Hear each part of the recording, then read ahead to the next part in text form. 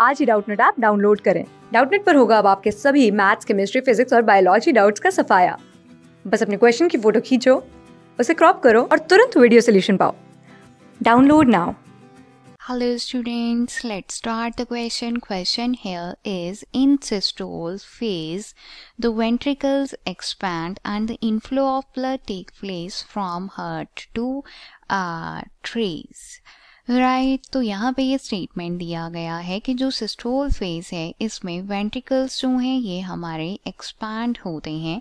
So this statement here is incorrect right because इस phase में ventricles जो हैं कॉन्ट्रैक्ट होते हैं ताकि जो ब्लड है वो हर्ट से पंप आउट किया जा सके।